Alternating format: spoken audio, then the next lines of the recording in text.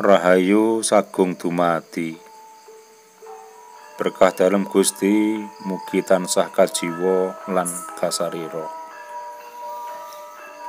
Kisana nisana sutresno tukang cerita sing banget ndak tresnani.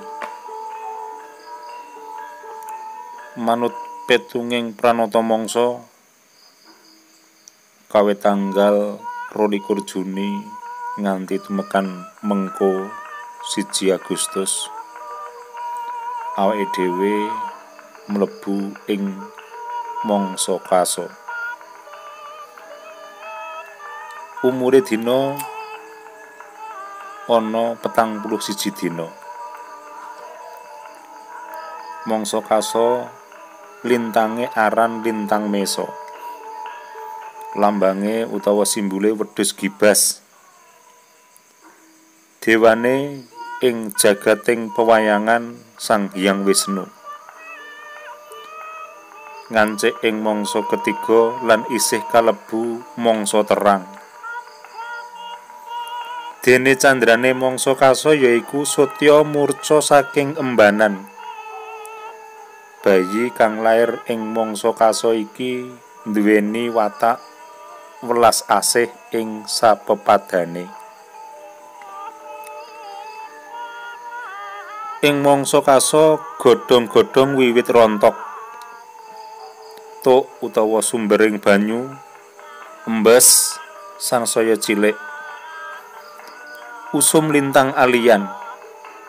Uga bun upas ing wayah esuk ana ing sawetara panggonan. Para kadang tani amiwiti nggarap tegalan kanggo nandur palawija, pala kesimpar lan pala kependem. Ing mangsa iki taneman woh-wohan wiwit metu kembange. Kayata jambu, duren, manggis, nongko, rambutan, cermeh, srikaya, kedondong lan sak pinunggalane. Dene ing jagate sato kewan, walang, jangkrik lan gangsir wiwit padha ngerong ing sela-selaning lemah. Awit ing mangsa-mangsa iki wis wayahe ngendhok. Dene miturut ngilmu meteorologis cirine mangsa kaso yaiku kadar sunaring sarya kadar sunaring surya 76 persen. Kadar garing telesing hawa swidak koma siji persen. Curahing udan swidak pitu koma loro milimeter. Panas ademing hawa pitu likur koma papat derajat celcius.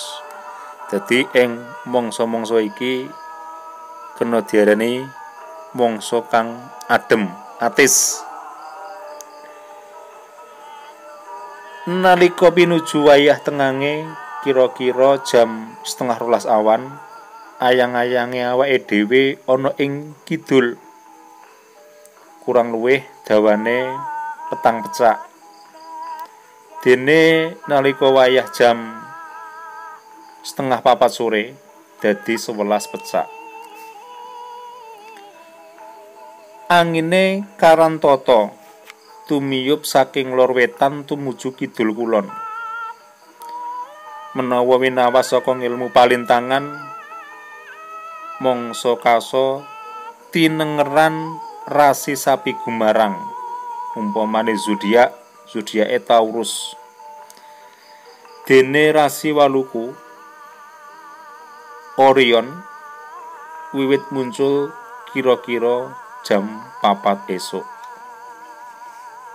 mekaten menggah pranata mangsa sing bisa ndaturake ana ing kalodhangan iki. Muga-muga tansah migunani manfaate tumrap sedulur-sedulur tukang cerita kabeh. Ing wasana rahayu rahayu rahayu. Matur nuwun